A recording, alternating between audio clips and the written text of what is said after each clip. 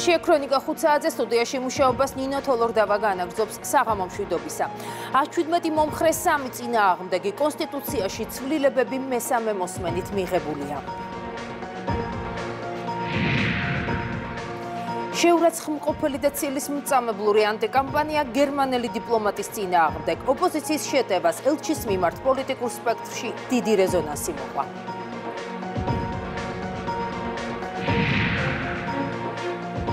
მაშასე კონსტიტუციაში ცვლილებები დამტკიცებულია ისტორიულმა კენჭისყრამ ქვეყანაში საარჩევნო სისტემა შეცვალა. ბიძინა გეგიძე, ალექსანდრე ერქვანია და კახა ოქრიაშვილი.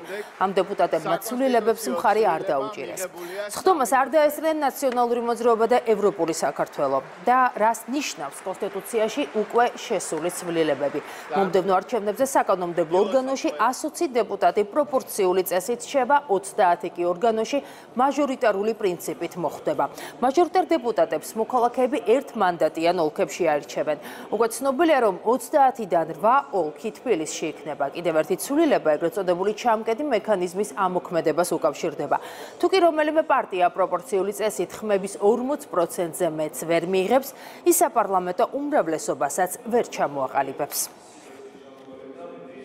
დღევანდელი გადაწყვეტილება, რომელიც პარლამენტის წევრებმა უმრავლესობით დაადასტურეს კენჭისყრაზე არის საქართველოს დემოკრატიული განვითარების და ჩვენს მიერ აღებული დემოკრატიული ვალდებულებების შესრულებისკენ გადადგმული კიდევ ერთი მნიშვნელოვანი ნაბიჯი. დღევანდელი გადაწყვეტილებით საქართველოს საზოგადოებას და პარტნიორებს კიდევ ერთხელ უჩვენა, რომ მზად არის გააძლიეროს თავისი დემოკრატია და 2020 წლის ოქტომბერში ჩაატაროს თავისუფალი დემოკრატიული და გამჭვირვალე საპარლამენტო არჩევნები. ბოლო 3 ათეული წელია ვერ მოხერხდა, ვერ ხერხდებოდა კიდევ უფრო სწორად ჩვენს ქვეყანაში პროპორციულზე ან პროპორციულთან მიახლოებულ სისტემაზე გადასვლა. ეს ჩვენ მოახერხეთ. ასევე მოგეხსენებათ და კარგად იცის უკვე საზოგადოებამ, რომ 2024 წელს ჩატარდება არჩევნები სრულად პროპორციული სისტემით, ხოლო ახლა 2020 წელს რამდენიმე თვეში დღევანდელი გადაწყვეტილების მიხედვით პროპორციულობა გაიზარდა ამ სისტემის და ის არის 120 ეს იყო შეთანხმების ნაწილი ისტორიული გადაწყვეტილება მივიღეთ რამაც პრინციპში თელ საზოგადოებაში უნდა მოიტანოს გარკვეული სიმშვიდე.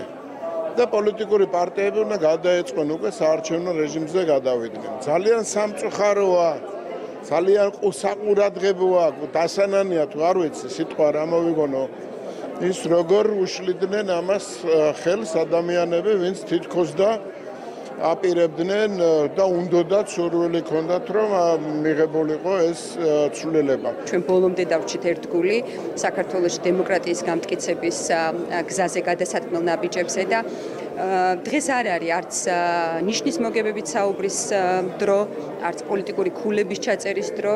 საქართველოს სახელმწიფო ინტერესებისთვის დღევანდელი საკონსტიტუციო ცვლილება არის უაღრესად მნიშვნელოვანი.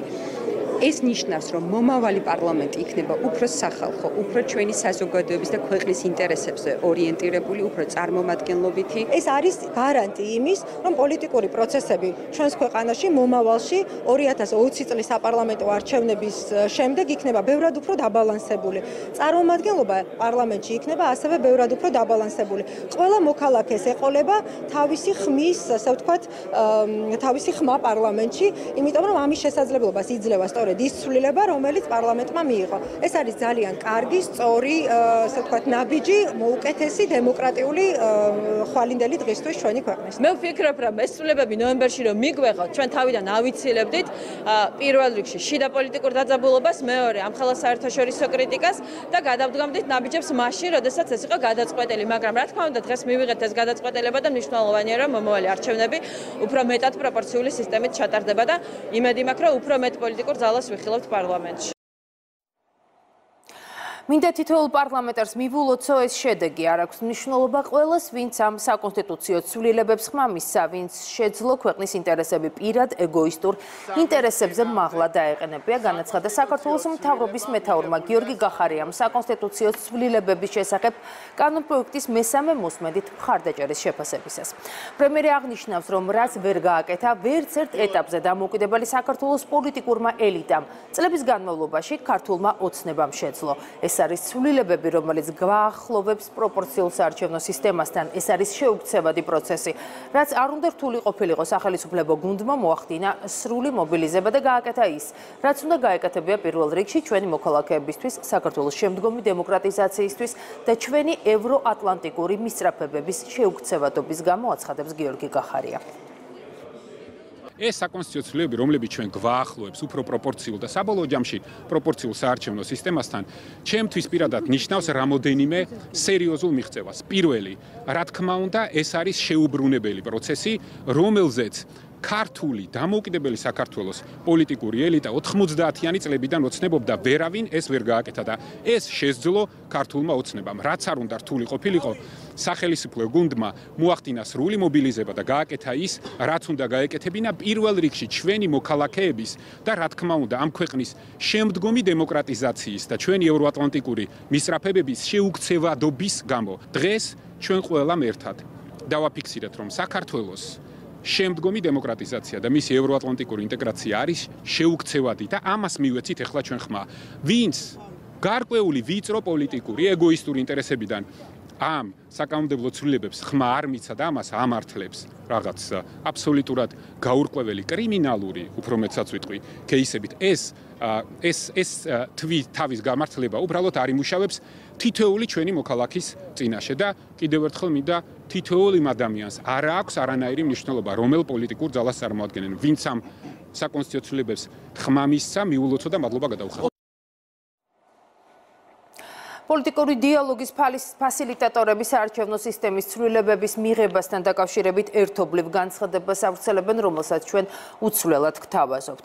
გულითადად ვულოცავთ საქართველოს პარლამენტს დღეს საკონსტიტუციო ცვლილებების მიღებას, რომლებიც მიზნად ისახავს პარლამენტში პლურალიზმის გაზრდასა და უფრო ფართო წარმომადგენლობას საკანონმდებლო ორგანოში. ვაღიარებთ, რომ ეს ცვლილებები ასახავს იმ კომპრომისებს, რომელთა მისაღწევად საქართველოს პოლიტიკურ პარტიებს სირთულების გადალახვა დასჭირდათ და მივესალმე მოგებით მათ, ვინც უზრუნველყო ამ ცვლილებების წარმატებით დასრულება. წუხვართ, რომ 8 მარტის შეთანხმების შესრულებასთან დაკავშირებული განსხვავებული დამოკიდებულების გამო ზოგიერთმა პარტიამ არ მიიღო მონაწილეობა კენჭისხრაში. ამჯერად ჩვენ მოვუწოდებთ ყველა მხარეს ჩაერთონ ეუთო ოდირის საარჩევნო რეფორმების რეკომენდაციების მიღებასა და შესრულებაში. ეს უაღრესად საჭირო რეფორმები ხელს შეუწყობს თავისუფალი სამართლიანი და გამჭვირვალე საარჩევნო გარემოს შექმნას, რომელშიც საქართველოს მოქალაქეები შეძლებენ საარჩევნო ყუთებთან ხმის თავისუფლად მიცემას. 8 მარტის შეთანხმების ვალდებულებების შესრულება, რაც გულისხმობს ისეთი ქმედებების მოგვარებას, რაც შეიძლება ახმულ იქნას როგორც სასამართლოსა და საარჩევნო პროცესების უმართებულო პოლიტიზაცია, კვლავაც გადამწყვეტია ქვეყანაში გამართული დემოკრატიისა და კანონის უზენაესობის მისაღწევად, განსაკუთრებით საარჩევნო პერიოდში. ჩვენ კვლავაც გავაგრძელებთ ამ ვალდებულებების შესრულებაზე დაკვირვებას, განსაკუთრებით ოქტომბრის წინა საარჩევნო პერიოდში. და ბოლოს გვსურს ყველა მხარემ პატივის წეს ჩვენს როგორც ამ პროცესში ჩართული ფასილიტატორების როლსა და კეთილსინდისიერებას. ნათქვამია ფასილიტატორების მიერ გავრცელებულ ერთობლივ განცხადებაში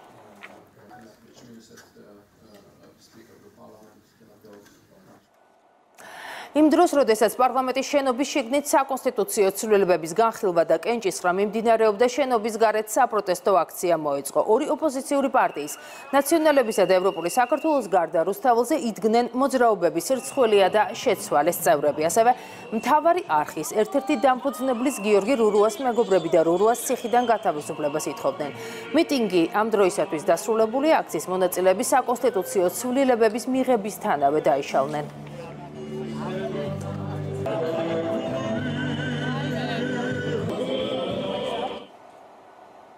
დღევანდელ დღეს ერთადერთი დამარცხებული ყავს ეს არის რადიკალური დესტრუქციული კრიმინალური ოპოზიცია რომელმაც უხეშად დაარღვია რამ 8 მარტის შეთანხმება უარი თქვა ელჩების მკაფიო მოწოდებების შესრულებაზე და ნაბიჯით კიდევ ერთხელ დაადასტურა რომ არის ანტისახელმწიფოებრივი ანტიდემოკრატიული და ანტიდასავლური პოლიტიკური ძალა ასახმაურება დღეს გამართულ კენჭისყრას საპარლამენტო უმრავლესობის წევრი ირაკლი კობახიძე. კობახიძე მადლობა გადაუხვა და ოპოზიციასა და ხელისუფლებას შორის გამართული მოლაპარაკებების ფასილიტატორ ელჩებს, ასევე იმ დეპუტატებს, რომლებმაც კონსტიტუციური კანონის პროექტს კენჭისყრაზე მხარი დაუჭერეს.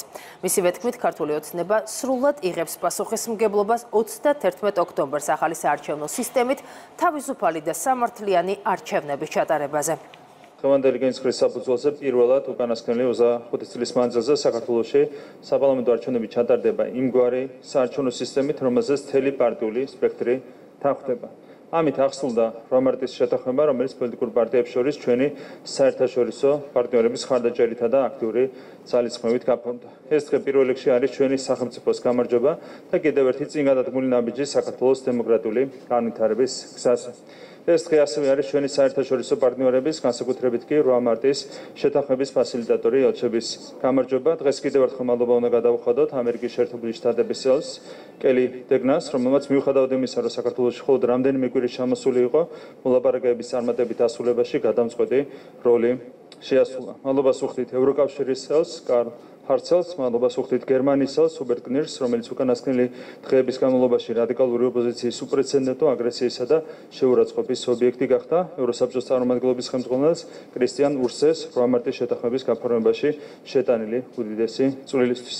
ეს დღე არის ქართული ოცნების გამარჯვებაც. ეს დღე არის იმუდმივი და თანმიმდევრული დემოკრატიული წინსვლის ლოგიკური გაგრძელება, რომელიც საქართველოსში ბიძინა ივანიშვილის ხელმძღვანელობით შემდგარი 2012 წლის დემოკრატიული გარდატეხი დაიწყო. დღევანდელი დღე არის გამარჯვება ყველასთვის, ვინც საქართველოს დემოკრატიული განვითარებით არის დაინტერესებული. დღევანდელ დღეს ხავს ერთადერთი დამარცხებული, ეს არის რადიკალური, დესტრუქციული, კრიმინალური ოპოზიცია, რომელმაც უხეშად დაარღვია რომარტის შეთანხმება, უარი თქვა ელჩების კაფიო მოწოდებების შესრულებაზე და ამ ნაბიჯით კიდევ ერთხელ დაადასტურა, რომ არის ანტისახელმწიფოებრივი, ანტიდემოკრატიული და ანტიდასავლური პოლიტიკური ძალა. საზოგადოება უკვე მიჩვეულია იმას, რომ სადაც მარცხდება ნაციონალური მოძრაობა, იმარჯვებს ქართული დემოკრატია. შესაბამისად, მათი ეს მარცხიც ქართული დემოკრატიის განვითარების კანონზომიერების ნაწილია. სიმბოლური და ნიშანდობლივია, რომ საკონსტიტუციო რეფორმის გასაცდ საქართველოს კონსტიტუციას არც ამჯერად შეეხო იმ პოლიტიკური ძალის ხელი, რომელიც წლების მანძილზე საქართველოს კონსტიტუციის უხეში ხელყოფით იყო გამორჩეული. დასასრულს ქართული სისტემის სახელით მადლობას ვუხდით ყველა იმ პარლამენტარს, რომელსაც დღეს ხარი დაუჭირა საკონსტიტუციო ცვლილებებს. კიდევ ერთხელ ვუხდით მადლობას ჩვენს მეგობარ ელჩებს, საერთაშორისო პარტნიორებს, ყველას, ვინც საქართველოს დემოკრატიული განვითარებით არის დაინტერესებული. ქართული ოსტემა სულად იღებს პასუხისმგებლობას 31 ოქტომბერს ახალი საარჩევნო სისტემით თავისუფალი და სამართლიანი არჩევნების ჩატარებას. ახლა კი ოპოზიციის შეტევა გერმანიის ელჩზე და რეზონანსი, რომელიც თემას პოლიტიკურ სპექტრში მოყვა. ოპოზიციონერები განცხადებას, რომ გერმანულ დიპლომატს ბიძინა ივანიშვილი აფინანსებს, მართულ გუნდში შეურაცხმყოფელს და ცილის მწამებლურს უწოდებენ. პოლიტიკოსები ბოკერიას და ნათალაშვილს ურჩევენ, შეწყვიტონ დაწყებული ანტიკამპანია და დიპლომატს ცილის მწამებლური განცხადებების გამო ბოდიში მოუხადონ. რას პასუხობს ოპოზიციის შეურაცხყოფას თავად გერმანიის ელჩი საქართველოში ჰუბერტ ქნირში სოფო ბერიძე გვერდდება. ახლა პირდაპირ ეთერში გისმენთ სოფო ნინა შეიძლება ითქვას რომ გერმანელი დიპლომატი ოპოზიციის ნაწილის რეაქციით არის გაკურვებული რადგან იმეთთან ის ინტერვიუში ამბობს რომ მან თქვა მხოლოდ ის და აღნიშნა მხოლოდ ის რაც 8 მარტის შეთანხმებაში წერია. ამას გარდა გერმანელი დიპლომატი ხაზს უსვამს იმას რომ მნიშვნელოვანია ზოგადად საჯარო სექტორში მყოფმა პირებმა პატივის ცენ ერთმანეთის აზრს და იმედი აქვს რომ ბოლო ორი დღის განმავლობაში მის ირგვლივ განვითარებული მოვლენები ამ მიმართულებით კარგი გამოცდილების საშუალება იქნება.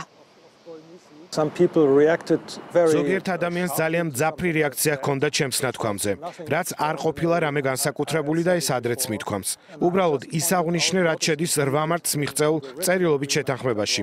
ვიცი რომ პოლიტიკაში არა მხოლოდ ქართულ პოლიტიკაში არამედ ბევრ სხვა ქვეყანაშიც ხალხი ძალიან სწრაფად აჟიტირდება. იყენებენ საკმაოდ ხის ტენას და საშუალებებს საკუთარი აზრის გამოსახატად. ეს არ არის რაიმე ძალიან მოულოდნელი მაგრამ მნიშვნელოვანია რომ საჯარო სფეროში მოღვაწე ადამიანი ადამიანებმა პატივისცენ ერთმანეთს და იმედი მაქვს, რომ ეს გამოცდილება საქართველოსი ხელშეუწყობს ამის განვითარებას.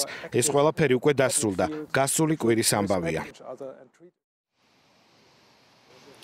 მართველი პარტია დღესაც ოპოზიციის ნაცვლად იხდის ბოდიშს, მათ მიაჩნიათ, რომ როდესაც საქართველოს მოქალაქეები აკეთებენ ისეთ განცხადებებს, როგორიც გერმანიის ელჩის მისამართით გიგაბოკერიასა და შალვა ნათელაშვილის მხრიდან გაკეთდა, აუცილებელია ბოდიშის მოხდა, თავად ოპოზიციას არანაირი ბოდიში ელჩისათვის ჯერ არ მოუხდიათ, ქართული ოცნების ლიდერები კი ამბობენ იმას, რომ ოპოზიციის რეაქცია განაპირობა სწორედ გერმანელი დიპლომატის მიერ ნათქვამმა სიმართლემ. ჩვენ კიდევ ერთხელ ბუდეში უნდა მოუხადოთ გერმანიის ელს იმისათვის რომ საქართველოს მოქალაქე აკეთებს ასეთ განცხადებებს. მით უმეტეს როცა საუბარი ოპოზიციის ლიდერზე შალვა ნათელაშვილზე გამოგვითელ ლიდერზე ბჭყალებში და ბჭყალებს გარეთ აქედან გამომდინარე ეს არის ერთადერთი კომენტარი რომელიც შეიძლება გავაკეთოთ. ეს არის მიუღებელი და ეს კიდევ ერთხელ მიუთითებს იმასე რომ ოპოზიცია არის აბსოლუტურად აჭრელი და ვეღარ აკონტროლებს საკუთარ სიტყვებს. ეს ადამიანი ჩართული იყო თავიდან ბოლომდე მოლაპარაკებებში ესწრებოდა ბოლო მოლაპარაკებასაც მოყვა რა ხდება ეწეოდა ბოლო მოლაპარაკებას და ამის გულისთვის ის გახდა თავდასხმის ობიექტი, რაც ასევე ძალიან ძიმია. ამას კადრულობს ზოგიერთი პარტია საქართველოში და ამ ეს იკადრა იმ პარტიამ და იმ პარტიებმა იკადრეს, რომელმაც დღეს საკუთარ პოლიტიკურ მომავალს დაუსვეს წერტილი. ინფონზე როდესაც ოპოზიცია ბოლო წუთამდე მესამე მოსმენამდეც და დღესაც ახლაც ამტკიცებს რომ 8 მარტის შეთანხმებით ხელისუფლება მაიღო ვალდებულება რომ ციხიდან გათავისუფლებოდა ამჯერად უკვე გიორგი რურუა გერმანიის ელჩმა გასული კვირის ბოლოს თქვა რომ 8 მარტის შეთანხმებაში გიორგი რურუა არ ფიგურირებს. ელჩის ამ პასუხად გიგა ბოკერიამ გერმანიის ელჩს თარგმანში დაკარგული უწოდა უფრო შორს წავიდა შალვა ნათელაშვილი და ლეიბორისტული პარტიის ლიდერმა ისიც კი თქვა რომ გერმანიის ელჩ ელჩს ქართული ოცნების თავმჯდომარე აფინანსებს. ეს იყო სოფო ბერიძე, მადლობა სოფო. გერმანიის ელჩის ინტერვიუდან ტაბულაში გამოქვეყნებულ გამონათქვამებთან დაკავშირებით ელჩის მოადგილემ თავარ რედაქტორს თამარ ჩერგოლეიშვილს წერილი გაუგზავნა. წერილში დიპლომატი აღნიშნავს, რომ ხუბერტ ქნირშის მიმართ ინტერესი მას შემდეგ გაიზარდა, რაც ელჩს პოლიტიკური პარტიებისათვის 8 მარტის შეთანხმების შინაარსის შეხსენება მოუხდა. ელჩის მოადგილე აქვე აღნიშნავს, რომ ტაბულამ ქნირშის 6 თვის წინანდელი ინტერვიუს არასწორი ინტერპრეტირება მოახდინა. ქალბატონო თამარ, თქვენ საიტზე წერთ თითქოს ამ ინტერვიუში ელჩი ამბობს, რომ 2019 წლის 20 ივნისს პოლიციის მიერ გამოყენებული ძალა პროპორციული იყო. ამით ელჩის გამონათქვამს არასწორად გადმოსცემ. სინამდვილეში ელჩმა განაცხადა, რომ პოლიციის მხრიდან ძალის გამოყენება გარკვეულ სიტუაციებში აუცილებელი შეიძლება გახდეს, მაგრამ ის პროპორციული უნდა იყოს. მოგიწოდებთ, მიხვეთ მიღებულ საერთაშორისო ჟურნალისტურ პრაქტიკას, რაც იმას ნიშნავს, რომ ასევე მკაფიოთ და თვალსაჩინოთ აღიაროთ თქვენს მიერ გავრცელებული მცდარი გამონათქვამი და გაასწოროთ იგი. ის რომ ამასობაში უჩუმრად გამოაქვეყნეთ უკეთესი ინტერპრეტაცია არ არის საკმარისი წერს დიპლომატი ჩერგოლეიშვილისადმი გაგზავნილ წერილში.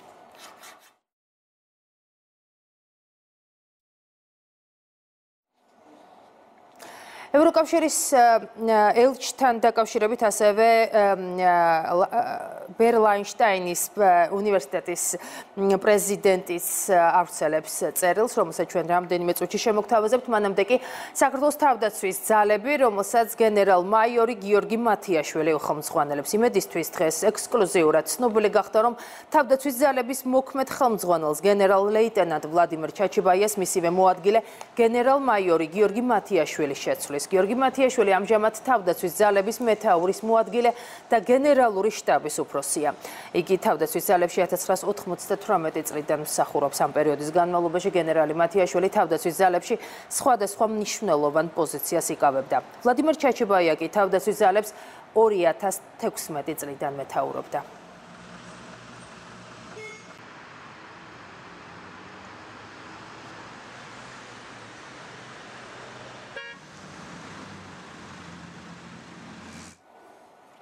გვახსოვდეს, რომ შავი ზღვა და საერთოდ მეზღვაურის პროფესია არის ამ ქვეყნის მომავალი. ამის შესახებ საქართველოს პრემიერ-მინისტრმა გიორგი გახარიამ ბათუმში მეზღვაურის საერთაშორისო დღისადმი მიძღვნილ ღონისძიებაზე განაცხადა. შავი ზღვა არის ამ ქვეყნის მომავალი ეკონომიკურად, პოლიტიკურად ჩვენს სტრატეგიულ პარტნიორებთან ურთიერთობისათვის. შავი ზღვა არის საქართველოს კარიბჭე და შავი ზღვა არის საქართველოს მომავალი. შავი ზღვა თუ საქართველოს მომავალია, მეზღვაურის არის მომავლის პროფესია. გილოცავთ მეზღვაურის საერთაშორისო დღეს განაცხადა გიორგი გიორგი გახარიამ ბათუმის სპორტში გამართულ ღონისძიებაზე.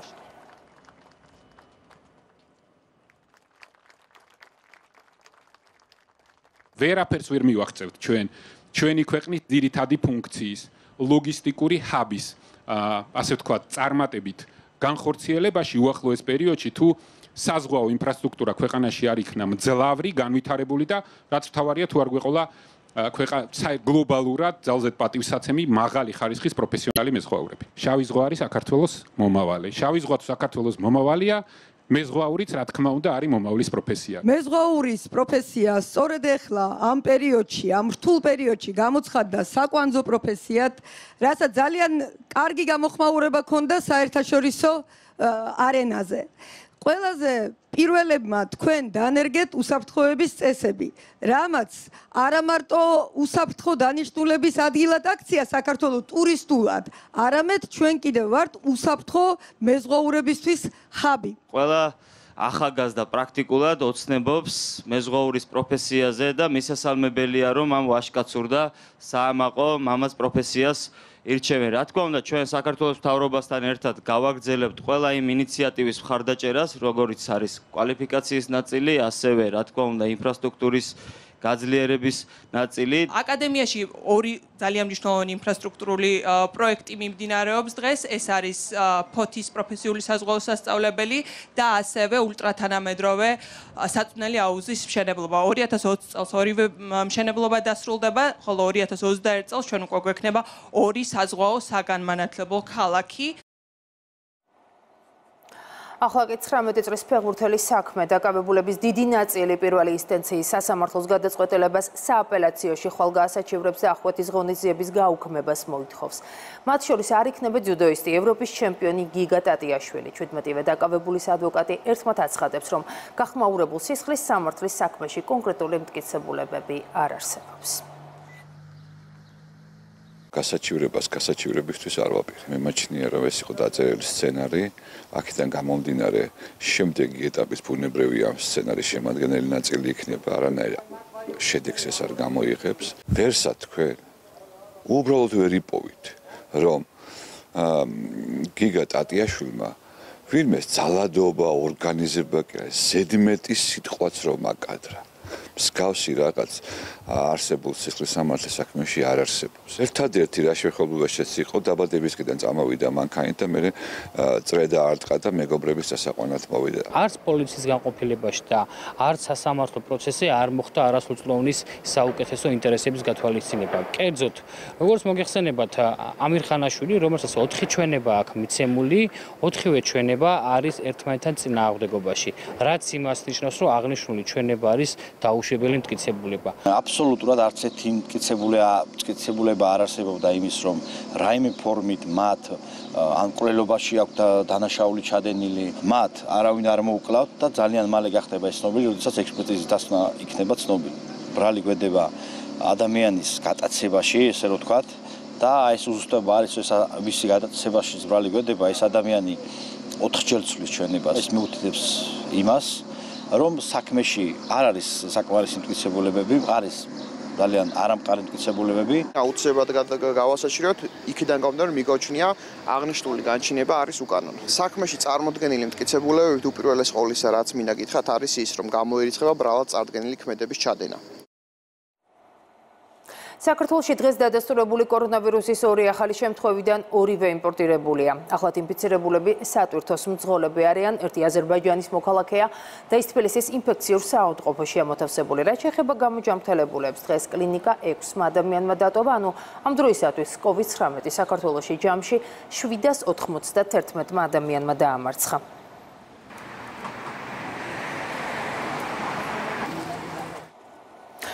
ბათუმში დღეს გიორგი გახარია რეგულარული საჰაერო ფრენების აღდგენის გადავადების საკითხსაც გამოეხმაურა. პრემიერ-მინისტრი ამბობს, რომ ყველაფერი კეთდება იმისათვის, რომ როგორც კი შესაძლებელი გვექნება, შესაძლებელი იქნება ფრთხილად გავხსნათ საზღვრები. თითოეული ჩვენი ნაბიჯი მხოლოდ და მხოლოდ ერთი მიზეზით იდგმება და მიზეზი ჩვენი მოქალაქეები ჯანმრთელობა ამბობს მთავრობის მეთაური.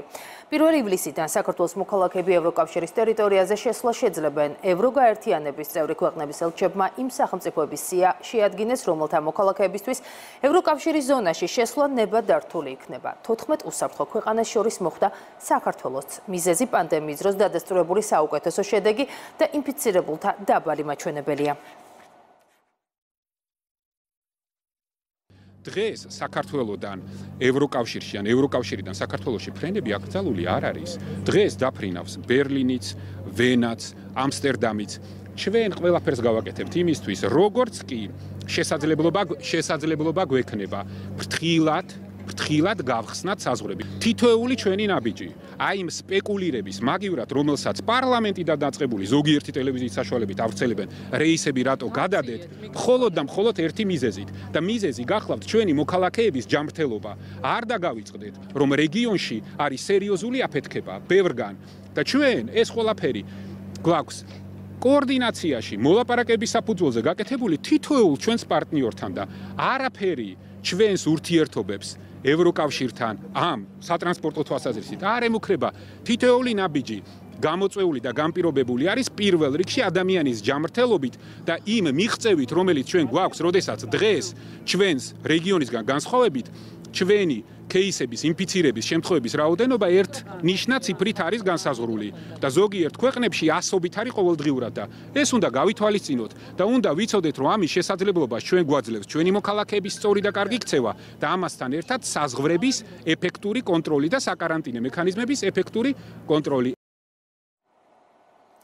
ბათუმის შემოვლითი გზით 13 კილომეტრიანი მონაკვეთის მშენებლობა ინტენსიურ რეჟიმში მიმდინარეობს. სამუშაოები საქართველოს პრემიერ-მინისტრმა გიორგი გახარიამ ვიცე-პრემიერთან, რეგიონული გავითარებისა და ინფრასტრუქტურის მინისტრ მაია ცკიტიშვილთან და აჭარის ავტონომიური რესპუბლიკის მთავრობის თავმჯდომარე თორნიკა თორნიკე რიჟვაძესთან ერთად დაათვალიერა. ამ ეტაპზე 17 ხედი და 4 გვირაბი შენდება პროექტის გახორციელების შედეგად ბათუმის შემოვლითი გზა გოქობულეთის შემოვლით გზასთან ერთად სრულად განტვირთავს მოძრაობას აჭარის საკურორტო ზონაში, რაც ხელს შეუწყობს სატრანზიტო ტვირთბრუნვის გაზრდასაც. საკურორტო ზონაში ასევე მნიშვნელოვნად გაჯანსაღდება განჯანსაღდება ეკოლოგიური მდგომარეობაც. ჩვენთვის არის მნიშვნელოვანი მათ შორის ამ ტერიტორიაზე მაგისტრალის აშენება, რადგანაც ბათუმის შემოვლითი გზა გვაძლევს საშუალებას, რომ ის სატრანზიტო ნაკადი, რომელიც ჩვენს ქვეყანას ქვეყნის გავლით ლოგისტიკურად გადაადგილდება, მოვარიდოთ ტურისტულ ზონას და ქუთაისის შემოვლითი დასრულებული გზის ასევე გაგრძელება იქნება ბათუმის შემოვლითი გზა, რაც მთლიანად მოარიდებს ამ მონაკვეთების დასრულების შემდეგ მთლიანად მოარიდებს სატრანზიტო მოძრაობას საკურორტო აჭარის საკურორტო ზონას. დღეს პრემიერთან ერთად მოვინახულეთ ძალიან მნიშვნელოვანი ინფრასტრუქტურული პროექტი, როგორც არის ბათუმის შემოვლითი გზა, რომელიც შეძლებს, რომ კიდევ უფრო მეტად განტვირთოს აჭარის თავარი ქალაქი და შესაბამისად ეს მოგვცემს საშუალებას ტურიზმის განვითარების კუთხით კიდევ უფრო მეტი და კიდევ უფრო ძლიერი პერსპექტივები გავაჩინოთ. ქუთაისის საერთაშორისო უნივერსიტეტის დამფუძნებლები ბიძინა ევანიშვილი და ეკატერინა ხვედელიძე უნივერსიტეტის პირველი ეტაპის დასასრულებულ სამუშაოებს გაეცნენ. სასწავლებლის მშენებლობას ფონდი ქართუა ფინანსებს და მას რეგიონში ანალოგი არ ყავს. ქუთაისის უნივერსიტეტის ასაშენებლად ივანიშვილების ოჯახმა მილიარდი ევრო გამოყო. სასწავლებელი პირველ ნაკადს 2020 წლის სექტემბერში მიიღებს საუბარია მათემატიკის, მენეჯმენტისა და კომპიუტერული მეცნიერებების საბაკალავრო პროგრამებზე. ქართულ სპეციალისტებთან ერთად სტუდენტებს ლექციებს ევროპის წამყვანი უნივერსიტეტებიდან მოწვეული ლექტორები წაუკითხავენ. ჩვენს ქვეყანას გადააქცევს საგანმანათლებლო და სამეცნიერო კვლევით ჰაბად. ჩვენს ახალგაზრდებს ეკნებათ საშუალება, რომ ისწავლონ ზუსტად იგივე პროგრამებით, რითიც მათი თანატოლები სწავლობენ სოფლიოს წამყვან უნივერსიტეტებში. მსგავსი მასშტაბის და მოცულობის პროექტი ქართულსაც კი არასდროს განხორციელებია, ჩვენთვისაც კი ეს გამოწვევა არის. ყველა მონაწილე, ვინც მონაწილეობს ამ პროექტის განხორციელებაში, ჩვენ გვცნობთ იმას, რომ გარკვეულწილად დიდი ისტორიის მონაწილენი ვართ. თუ კი ახალგაზრდას დამატებით დაჭირდება გარკვეული დახმარება ან სწავლის გადასახადის დაფინანსებაში, ან კამპუსზე ცხოვრების გადასახადში, ან სტიპენდიაში ან რაღაცა სხვა ფორმით დახმარებაში, ჩვენ გვაქვს საუნივერსიტეტო გრანტები, რომლებიც დაეხმარება ახალგაზრდებს ჩვენ სივრცეში შემოსასვლელად. კადეტე სამხედრო ლიცეუმში მოსწავლეთა რეგისტრაცია მიმდინარეობს. წელს ლიცეუმში მოხვედრის მსურველთა რიცხვი 61%-ით გაიზარდა. საბუთების მიღების პროცესი კორონავირუსის პრევენციის მიზნით ქვეყანაში მოქმედი რეგულაციების სრული დაცვით მიმდინარეობს. რეგისტრაცია 3 ივლისს დასრულდება. რეგისტრირებული მოსწავლეები 7 ივლისს მათემატიკის, ხოლო 8 ივლისს ზოგადი უნარების გამოცდას ჩააბარებენ. ცვლილებაა ლიცეუმის მისაღები გამოცდების ფორმატში. აპლიკანტებს ფიზიკურ მომზადებაში ტესტის გავლა აღარ მოუწევთ. გამოცდები ორ ქალაქში თბილისსა და ქუთაისში ჩატარდება და მოსწავლეებს ქალაქის არჩევა თავად შეეძლებათ. გასული წლის ანალოგიურ პერიოდთან შედარებით 61%-ით არის გაზრდილი რეგისტრირებული მოსწავლეების რაოდენობა, მათ შორის რეგისტრირებული გოგონების რაოდენობა გაზრდილი არის 70%-ით. ტესტირებების დასრულების შემდეგ მოსწავლეები გაივლიან სამხედრო სამედიცინო შემოწმებას, რომლის შემდეგაც შეირჩევა 121 მაღალ რეიტინგული კადეტი ჩაირიცხებიან კადეტთა სამხედრო ლიცეუმში და მიიღებენ კადეტის სტატუსს. ჩემი ბავშვების ოცნება იყო რომ გამოსულიყავი ჯარისკაცი და ამ ლიცეუმის შესახებ როდესაც გავიგე ძალიან გამიხარდა რომ შანსი მომეცა ჩემი სრულები ამესრულებინა. მინდა გამოვადგე ჩემს ასე სამშობლოს და ოჯახს. ფიქრობ რომ აქ მიღებული ცოდნა დამეხმარება ჩემს ცხოვრებისეულ წარმატებაში. და გვერდება დღის ქრონიკის სტუდია და გადაცემის წამყვანი გურამ ნიკოლაშვილი, რომელიც დღევანდელი გადაცემის ანონს წარმოგიდგენთ გურამ საღამოშტობისა. მოგესალმები. ნინო, დღეს ვისაუბრებთ ცხადია დღევანდელი დღის მთავარ თემაზე, საკონსტიტუციო ცვლილებები მესამე მოსმენით მიღებულია, პროცედურა საარჩევნო სისტემის შესასვლელად, საპარლამენტო პროცედურა დასრულებულია, ცხადია ვისაუბრებთ აი ამ თემაზე, ცხადია იმაზეც თუ რატომ გადაწყვიტა ოპოზიციამ რომ არ დაეჭირა მხარი პროპორციულ საარჩევნო სისტემაზე გადასვლისთვის პარლამენტის ვიცე-სპიკერი გია ვოლსკი ჩაგვერთვება ეთერში ამ თემაზე სასაუბროთ, შემდეგ კი ჯეოკეისის დამფუძნებელი ვიქტორ ყიფია. დიდი მადლობა გურამ წარმატებულ ეთერს გისურვებთ. ქრონიკა 5 საათზე ამით არის დასრულებული. დღის ყველა სიახლეს გაეცანით იმედი ნიუს-ჯიზე. მე გამშვიდობებით 4 შაბათამდე ნახვამდის.